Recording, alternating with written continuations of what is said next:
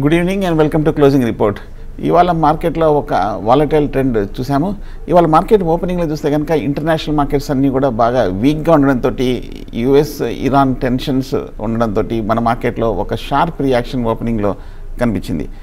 Nifty చూస్తే కనుక ఒక వంద పాయింట్లు పైగా నష్టపోయి పదకొండు వేల తొమ్మిది వందల ఇరవై లెవెల్స్ వరకు వెళ్ళి మార్కెట్లో ఒక రికవరీ అనేది కనిపించింది సెకండ్ సెషన్లో మార్కెట్ ఇవాళ చూస్తే కనుక ఫైనల్గా ఒక స్వల్ప నష్టాలతోటి క్లోజ్ అయింది.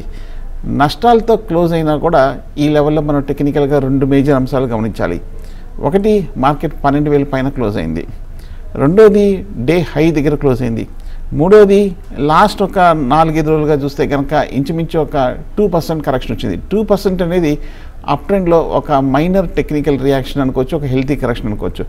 పన్నెండు వేల మూడు వందల నుంచి పదకొండు వేల తొమ్మిది వందల యాభై అంటే ఇంచుమించు ఒక మూడు వందల నుంచి నాలుగు వందల పాయింట్లు నష్టపోయింది కాబట్టి ఒక two to two and half percent correction వచ్చింది కాబట్టి ఈ లెవెల్లో కొంచెం సపోర్ట్ కూడా తీసుకుంది కాబట్టి ఇండి డే హై దగ్గర ఒక క్లోజ్ అయ్యి ఒక అప్వర్డ్ రివర్సల్ బార్ ఏర్పడింది కాబట్టి సో ఈ ఎవిడెన్స్ అన్నీ కూడా చూస్తే కనుక మార్కెట్లో కొంచెం పాజిటివ్ ఇండికేషన్స్ ఈ లెవెల్లో కనిపిస్తుంది. కానీ ఇంకా కన్ఫర్మేషన్ అనేది రాలేదు. ఎందుకంటే ఒకరోజు అప్ ట్రెండ్ తోటి ఒకరోజు ఒక రికవరీ తోటి అప్పుడే ట్రెండ్ కన్ఫర్మేషన్ చేయలేము. షార్ట్ టర్మ్లో పొజిషన్ ట్రేడర్స్కి ఇన్వెస్ట్మెంట్ ట్రేడర్స్కి ఫ్యూచర్స్ ట్రేడర్స్కి.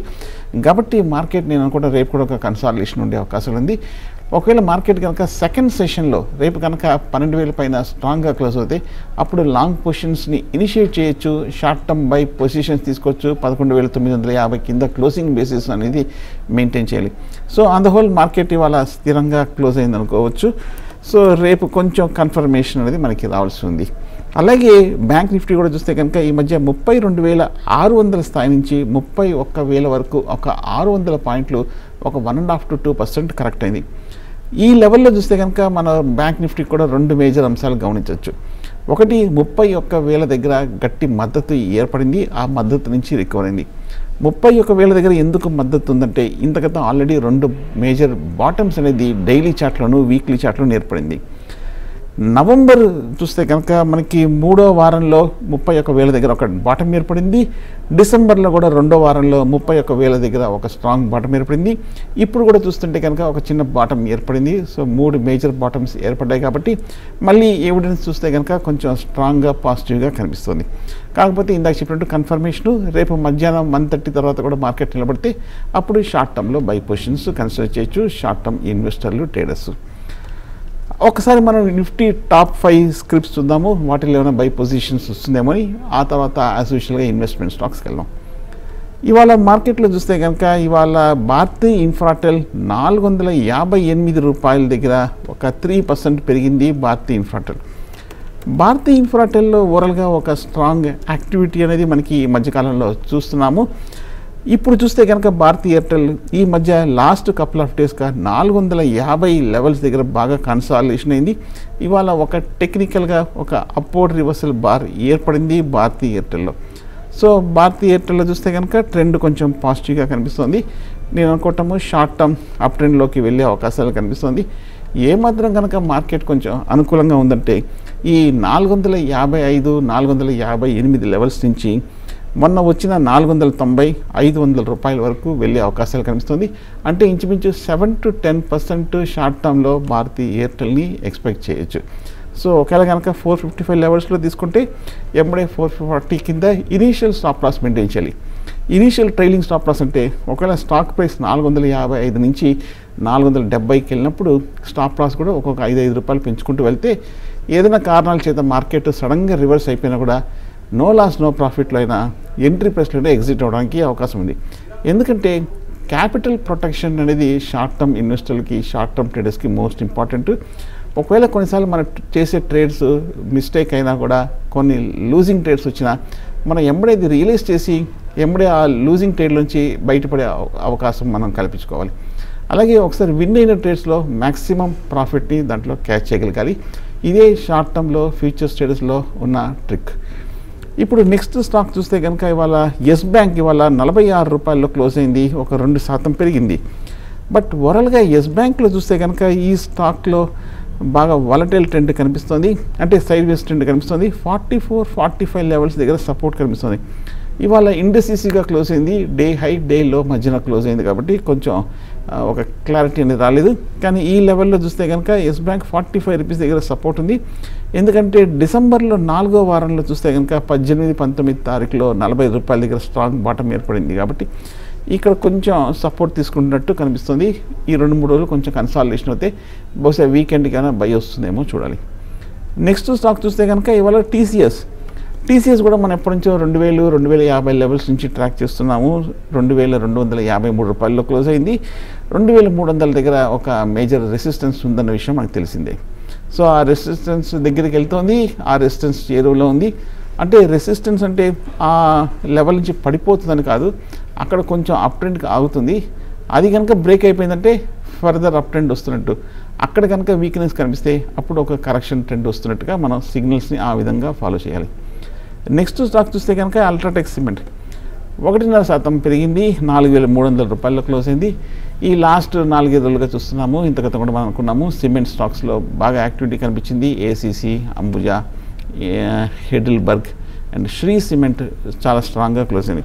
ఇన్ఫ్యాక్ట్ ఇదే షోలో కూడా చూస్తే కనుక హెడిల్బర్గ్ సిమెంట్ గురించి కూడా కొన్నాళ్ళ క్రితం మనం అనుకున్నాము.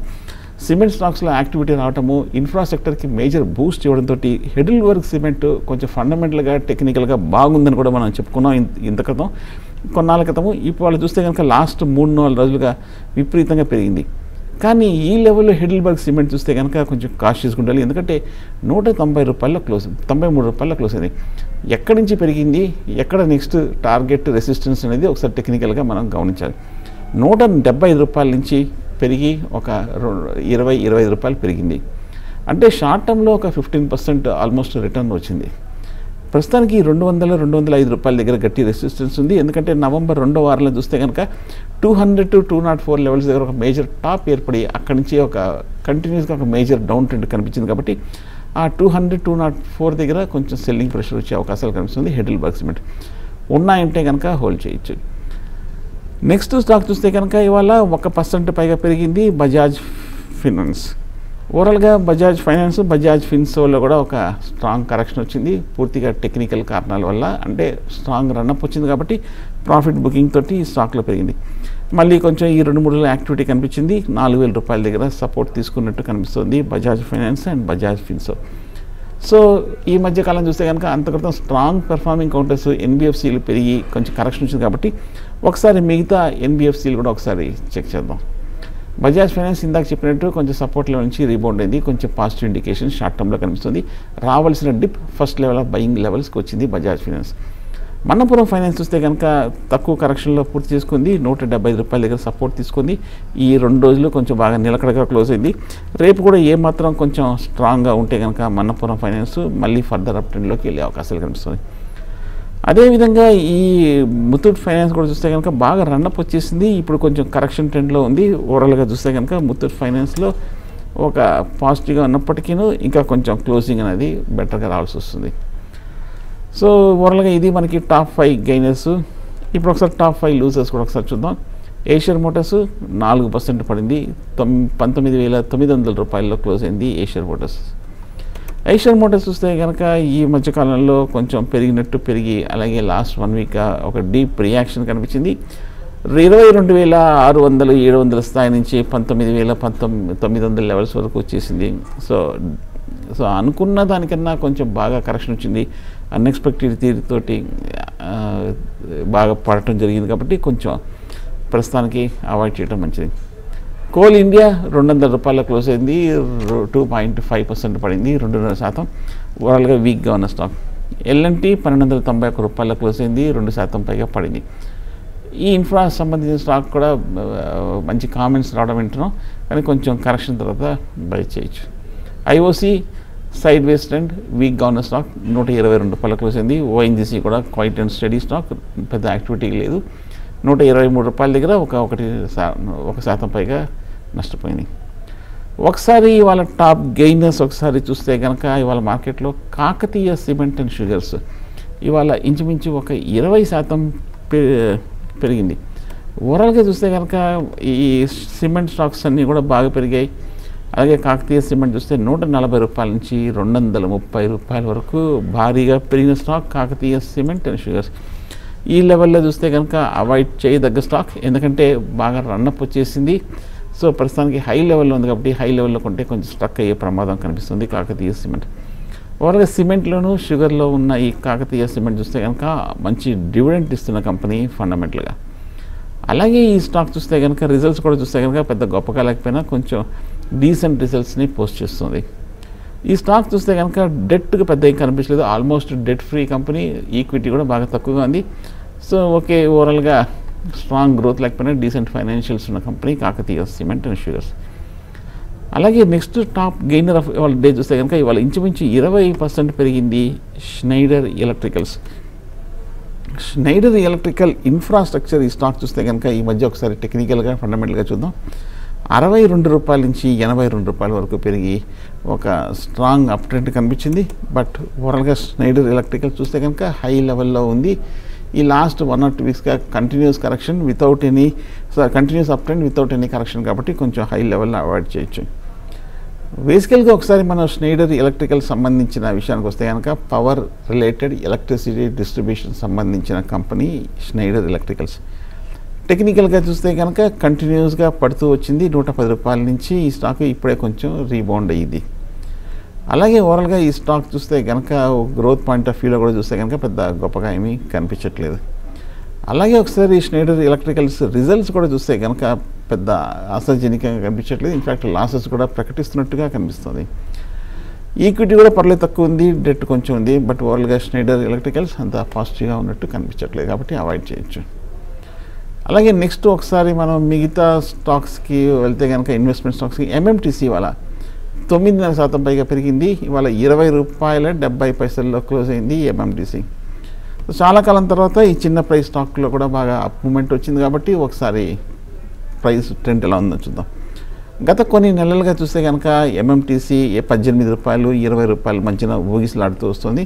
ఇవాళ చాలా కాలం తర్వాత ఒక స్ట్రాంగ్ రికవరీ వచ్చింది. స్ట్రాంగ్ బౌన్స్ బ్యాక్ తోటి ఒక స్ట్రాంగ్ క్లోజింగ్ కూడా చూస్తున్నాము ఎంఎంటీసీ టెక్నికల్గా చూస్తే కనుక సైడ్ ట్రెండ్లోంచి కొంచెం బయటపడి షార్ట్ టర్మ్ అప్పుల్లోకి వెళ్ళే అవకాశాలు ఉన్నట్టుగా కనిపిస్తుంది. అలాగే ఈ స్టాక్ చూస్తే కనుక సెక్టర్ పెద్ద గొప్పగా లేదు. మినరల్స్ మెటల్స్లో ఉన్న ఈ స్టాక్ చూస్తే కనుక ఇరవై రూపాయల వాల్యుయేషన్స్ కూడా అంత అట్రాక్టివ్గా కనిపించట్లేదు. అలాగే డెట్ కూడా ఉంది ఈ స్టాక్లో. వాళ్ళగా గ్రోత్ ఉన్నప్పటికీ జనరల్గా ఇటువంటి స్టాక్స్లో జనరల్గా ఈక్విటీ కూడా ఎక్కువ ఉంది డెట్ ఉంది. సో జనరల్గా అంత మూమెంట్ అనేది ఎక్కువగా కనిపించదు. రిజల్ట్స్ కూడా చూస్తే కనుక పెద్ద ఫాస్ట్గా అనిపించట్లేదు. జస్ట్ ఒక నార్మల్ మీడియం మినిమం రిజల్ట్సే రావడం అని చూస్తున్నాము ఎంఎంటీసీలో కాబట్టి అవాయిడ్ చేయొచ్చు. Vodafone Idea next top gainer వాళ్ళు తొమ్మిది పర్సెంట్ పెరిగింది. ఆరు రూపాయల యాభై పైసల్లో క్లోజ్ అయింది. వీక్గా ఉన్న స్టాక్ ఓరియన్ సిమెంట్. ఇవాళ ఎనిమిది ఎనభై రెండు రూపాయల అరవై పైసల్లో క్లోజ్ అయింది. Next top gain of the day Orient Cement. Orient Cement గురించి కూడా ఒకసారి విషయానికి వస్తే సిమెంట్ స్టాక్స్ అన్నీ కూడా బాగా పెరుగుతూ వస్తాయి కాబట్టి పెరుగుతూ వస్తున్నాయి కాబట్టి ఈ స్టాక్ అరవై ఐదు అరవై ఎనిమిది రూపాయల నుంచి గత నెల రోజులు బట్టి రెండు వారాలు బట్టి పెరుగుతూ వస్తుంది. ప్రస్తుతం ఎనభై ఐదు రూపాయల దగ్గర ఎనభై ఎనిమిది రూపాయల దగ్గర గట్టి రెసిస్టెన్స్ ఉండడంతో హై హైయర్ లెవెల్లో కరెక్షన్ వచ్చింది. అక్టోబర్ చూస్తే కనుక eighty five to ninety rupees దగ్గర స్ట్రాంగ్ బాటమ్ టాప్స్ ఏర్పడింది లెవెల్ ఏర్పడింది కాబట్టి అక్కడ ఆల్రెడీ అక్యుములేటెడ్ పొజిషన్స్ ఉన్నట్టు కనిపిస్తుంది కాబట్టి ఆ లెవెల్కి వచ్చింది కాబట్టి అక్కడ ఎవరైతే కొన్నారో వాళ్ళకి వాళ్ళు తిరిగి రేట్ వస్తుంది కాబట్టి అమ్మకాలు జరుపుతున్నారు. కొంచెం షార్ట్ టర్మ్లో ఈ లెవెల్లో ఆగే అవకాశాలు కనిపిస్తుంది Orient Cement next top gainer of the day చూస్తే కనుక ఇవాళ నవీన్ ఫ్లోరైన్ ఇవాళ ఆరున్నర శాతం పైగా పెరిగింది నవీన్ ఫ్లోరైన్. నవీన్ ఫ్లోరైన్ గురించి కూడా చాలామంది ఇన్వెస్టర్లు అడుగుతుంటారు. కాబట్టి ఒకసారి స్టాక్ టెక్నికల్ ఫండమెంటల్ చూద్దాము. లాస్ట్ కపుల్ ఆఫ్ మంత్స్గా చూస్తే కనుక ఏడు వందల రూపాయల నుంచి వెయ్యి రూపాయలు దాటింది నవీన్ ఫ్లోరైన్. సో వెయ్యి రూపాయలు దాటిన తర్వాత కూడా చూస్తే కనుక హై లెవెల్లో నవీన్ ఫ్లోరైన్ బాగా టెక్నికల్గా చాలా స్ట్రాంగ్గా కనిపిస్తుంది. ఎక్కడ ఒక వీక్నెస్ అనేది కనిపించకుండా పెరుగుతూ వస్తుంది. ఓవరాల్గా స్టడీగా ఉన్న స్టాక్ టెక్నికల్గా. ఫండమెంటల్గా చూస్తే కనుక బేసికల్గా నవీన్ ఫ్లోరైన్ బేసికల్గా ఫ్లోరో కెమికల్స్ తయారు చేస్తున్న కంపెనీ అన్న విషయం మనకు అర్థమవుతుంది. వాల్యుయేషన్స్ పెద్ద చీపర్గా కనిపించట్లేదు కొంచెం హయ్యర్ సైడే ఉన్నట్టు కనిపిస్తుంది. ఓవరాల్గా గ్రోత్ పాయింట్ ఆఫ్ వ్యూలో నవీన్ ఫ్లోరైన్ పాజిటివ్గా ఉంది. మంచి డివిడెండ్ ఇస్తున్న company almost debt free company అనుకోవచ్చు నవీన్ ఫ్లోరైన్ అండ్ ఓవరాల్గా ఒకసారి ఈక్విటీ కూడా చూస్తే కనుక బాగా తక్కువగా ఉంది. హార్డ్లీ టెన్ క్రోర్స్ కనిపిస్తుంది జీరో డెట్ కంపెనీ సో ఇటువంటి కంపెనీస్ కొంచెం స్ట్రాంగ్ రిజల్ట్స్ ఇస్తున్నప్పుడల్లా పెరుగుతూ వస్తుంది ఇటువంటి స్టాక్లో సో ఫండమెంటల్గా పాజిటివ్గా ఉంది. టెక్నికల్గా కొంచెం బాగా రన్అప్ వచ్చింది కాబట్టి కొంచెం వెయిట్ చేయడం మంచిది. ఉన్నామంటే హోల్డ్ చేయొచ్చు. ఒకసారి అలాగే నెక్స్ట్ టాప్ ఫైవ్ స్క్రిప్ట్స్ చూద్దాం. ఎన్ఐటి టెక్నాలజీస్ ఇవాళ ఆరున్నర శాతం పెరిగింది. మంచి stock GHCL another good stock ఇవాళ నూట తొంభై నాలుగు రూపాయల్లో క్లోజ్ అయింది. ఐదున్నర శాతం పెరిగింది. Granules India Ipca labs Adani Green Dishman Carbo Coffee Day Maha Seamless Gujarat Narmada Valley Aegis Logistics Jindal Steel and Power Indiabull steel estate ఇవన్నీ కూడా నాలుగు నుంచి ఐదు పర్సెంట్ వరకు పెరిగిన స్టాక్స్. అలాగే ఒకసారి లూజర్స్ జాబితా చూస్తే కనుక సుజలాన్ ఈ రెండు రోజులుగా పెరిగింది. మళ్ళీ ఇవాళ చూస్తే పది పర్సెంట్ పడింది. మూడు రూపాయల రెండు పైసల్లో క్లోజ్ అయింది. సెంట్రమ్ క్యాపిటల్ ఈ మధ్యకాలం బాగా పెరిగింది. అదర్ గుడ్ స్టాక్ కొంచెం రియాక్షన్ ట్రెండ్ ప్రాఫిట్ బుకింగ్ కనిపిస్తుంది. Reliance Infra weak stock five percent పెరిగింది పడింది. Shankara Buildcon Jain Irrigation Reliance Capital CG Power M NMDC Reliance Power Vakrangee Asian Motors Swan Energy Ashoka Buildcon Mahindra Logistics SRA infra IIFL Finance ఇవన్నీ కూడా మూడు నుంచి ఐదు శాతం వరకు ఇవన్నీ కూడా పడిన stocks so on the whole market నిన్న మొన్న కొంచెం డీప్ రియాక్షన్ తర్వాత పన్నెండు వేల దగ్గర కొంచెం యాక్టివిటీ కనిపించింది. పన్నెండు వేల పైన ఇవాళ క్లోజ్ అయింది. కొంచెం స్ట్రెంగ్త్ అనేది కనిపిస్తుంది. కాకపోతే కొంచెం కన్ఫర్మేషన్ అవ్వాలి. రేపు ఏమాత్రం కనుక మార్కెట్లో స్ట్రెంగ్త్ కనిపిస్తే పన్నెండు వేల స్థాయి దగ్గరే అప్పుడు కొంచెం లాంగ్ పొజిషన్ అనేది కన్సిడర్ చేసాం సో రేపు చాలా కీలకం. రేపు ఎల్లుండి కొంచెం స్ట్రాంగ్గా నిలబడితే షార్ట్ టర్మ్ మళ్ళీ అప్ ట్రెండ్లోకి వెళ్ళే అవకాశాలు కనిపిస్తుంది market so thank you very much ఇది రోజు క్లోజింగ్ రిపోర్ట్